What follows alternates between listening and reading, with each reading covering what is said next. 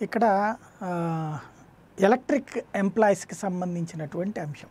ఇంతకుముందు కూడా ప్రస్తావించుకున్నాం.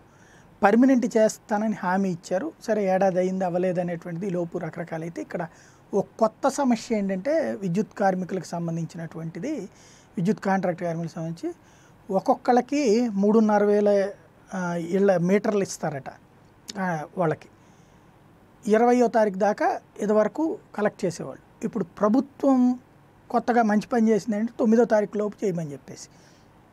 తొమ్మిదో తారీఖు లోపు చేయాలంటే ఒక పర్సన్ వల్ల కాదు. మూడున్నర వేల ఇళ్ళకి మీటర్లు తీయడం అనేటు దాంతో వాళ్ళిద్దరిని పెట్టుకుని ఒక్కొక్క దాని మీద మూడు మూడు రూపాయల ముప్పై పైసలు దగ్గర దగ్గరగా డబ్బులు ఇస్తారట. అంటే ఈ మూడు వేల మంది మూడున్నర వేల ఇళ్ళు తీసుకుంటే వీళ్ళకి ఓ పదివేల రూపాయలు డబ్బులు వస్తాయి. అలాంటిది ఇప్పుడు వాళ్ళకి గనక ఇది తొమ్మిదిలో పూర్తి చేయాలంటే ఇంకో మనిషిని అన్న పెట్టుకోవాలి కనీసం. ఇంకో మనిషిని పెట్టుకుంటే ఇందులో వచ్చే దాంట్లో మళ్ళీ ఐదు ఐదు వేలు పంచుకోవాల్సి ఉంటుంది.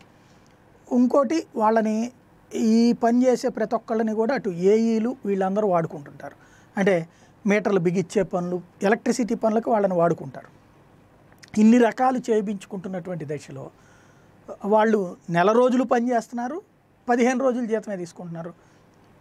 అలాంటి సందర్భంలో ఇప్పుడు ఇంకా సగానికి పడిపోయేటువంటి పరిస్థితి వచ్చింది తాజాగా. తొమ్మిదో తారీఖు లోపుకి ఎందుకు పెట్టారు అంటే పబ్లిక్ తీవ్ర ఆగ్రహం వ్యక్తం చేశారు. మొన్నటి నెలలో అర్థమైంది ఏంటంటే బిల్లులు పదిహేను ఇరవైలో ఇచ్చేటప్పటికి రెండు నెలల అమౌంట్ అయిపోయింది. అక్కడ ద- మూడు రెండున్నర నెలల అమౌంట్ అయిపోయింది.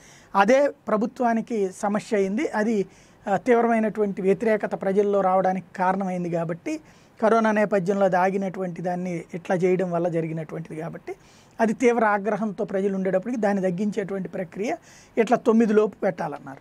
మంచిదే. ఆ ప్రజలు కోరుకున్నటువంటిది ఇమీడియట్గా కావాలనేటువంటిది. కాకపోతే వాళ్ళని పర్మనెంట్ చేస్తానని ఇచ్చినటువంటి హామీ గనక ఆచరణలో పెడితే వాళ్ళ సమస్య పరిష్కారం అవుతుంది. అలా పెట్టి ఇక్కడ ఇరు వర్గాలను అంటే ప్రజల్ని సాటిస్ఫై చేయాలనుకున్నప్పుడు ఇటు వీళ్ళని కూడా సాటిస్ఫై చేయగలిగితే బాగుంటుంది. చేస్తారు లేదు చూద్దాం.